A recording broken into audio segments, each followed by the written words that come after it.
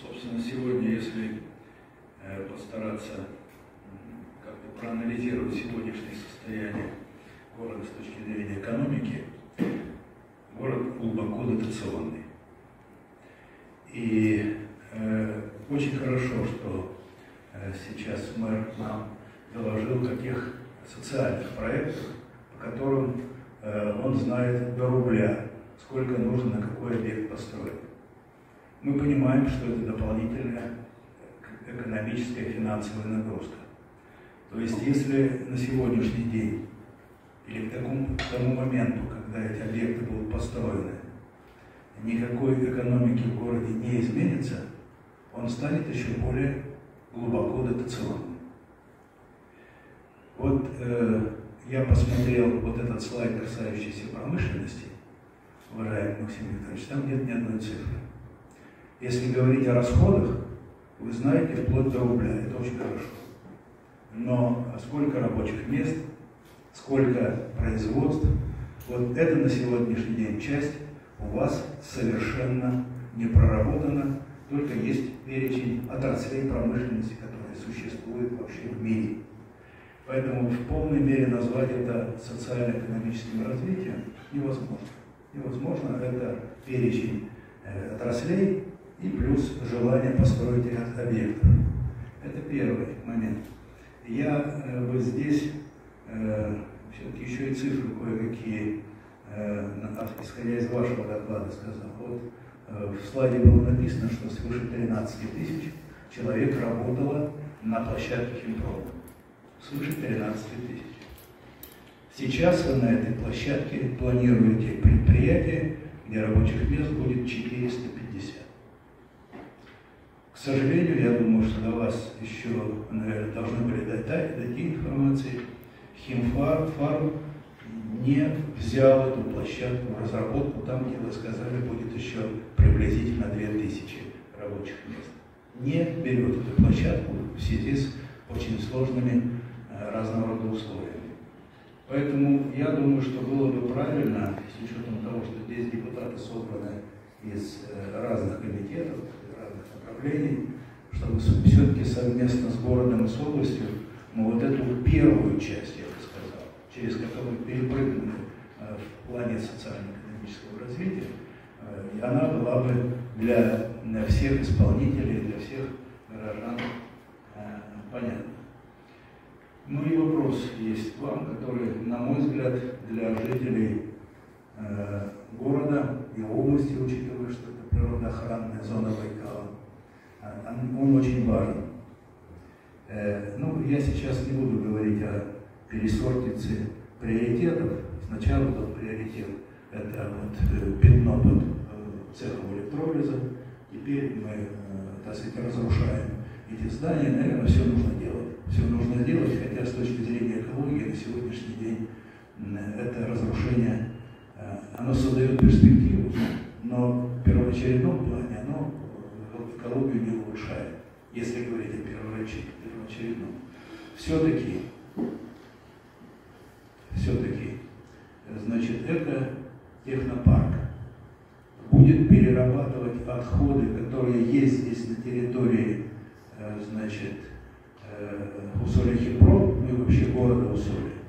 Или мы будем свозить сюда отходы из других территорий, пусть даже Иркутской области или там из-за пределов, помните, к сожалению, на общественных слушаниях прозвучало, что мы будем свозить сюда. Поэтому этот вопрос требует однозначного ответа, чтобы люди понимали. Спасибо. Игорь ну, сначала начну. Это презентация это не пакет программы социально-экономического развития. Программа, которую мы отправили Мишустину, 186 страниц мелкого текста, который можем вам отправить, и вы ознакомитесь с каждой цифрой. Ну, а если надо, я вам назову, сколько людей работает на каждом предприятии, которое у нас имеется. И ММК, и Кристалл, и 11 плюс завод, мясокомбинат. Это не просто картинки. Это один момент. Второй момент. Мы говорим о заводе, которая будет не только наполнять бюджет города, мы говорим о, о заводе, который будет и содержать тех людей, которые будут в него Мы говорим о заводе,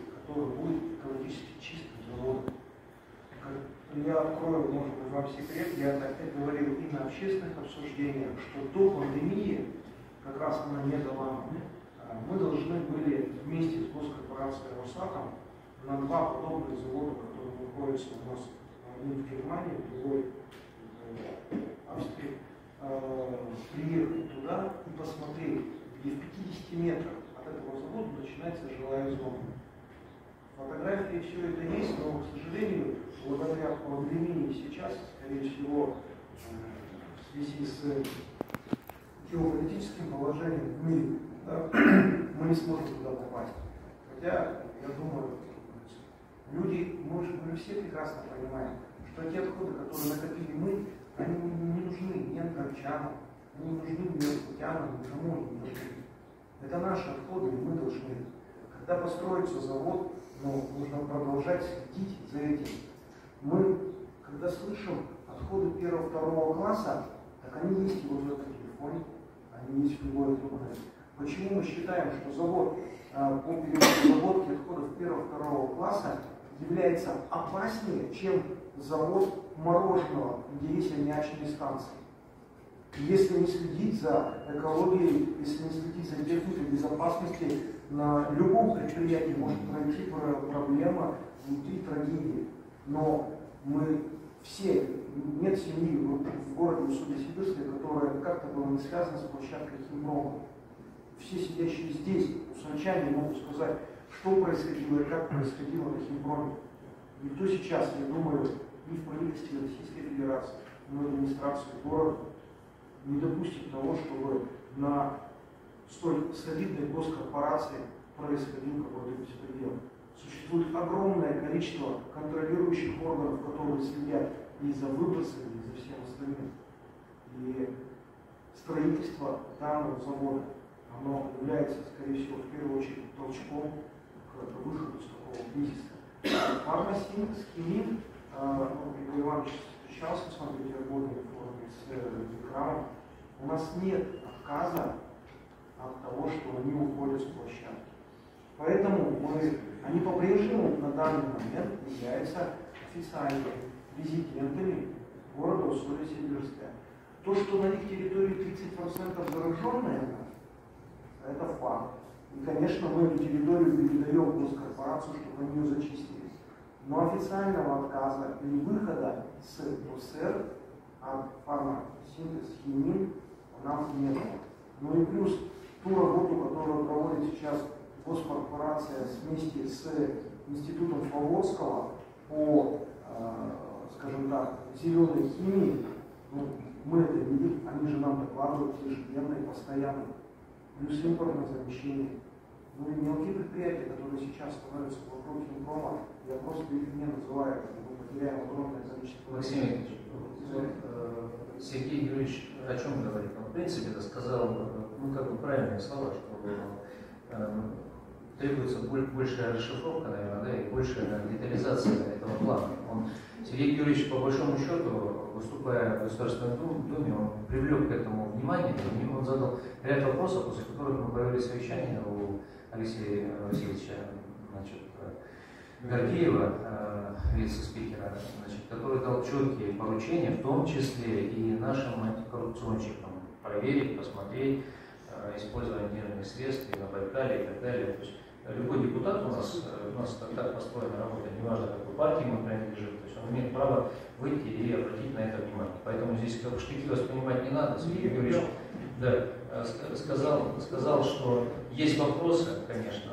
но они требуют более детальной проработки. Поэтому надо просто предоставить информацию, ту, которую нужно. А то, что озабоченность, конечно, есть. Мне кажется, все равно, ну, мне есть чем сравнить. Вот я помню первое свое здесь вот в этом зале на выступление, я помню настроение. Там, возьмемся вообще за это, не возьмемся. То есть насколько там сложно это все было. Я, я помню просто я, вот это, эти совещания, то, что меня касалось лично. Значит, второе помню совещание, уже начали движение. Третье, динамика положительная есть. Не, не согласиться с этим, наверное, неправильно, нельзя. Вот. Э, работу надо доделать. Работа сложнейшая. В России такой работы никто никогда не делает, я вам так скажу. Она сложная. Взяла, взялась за нее одна из самых там, серьезных крупных компаний Федерации.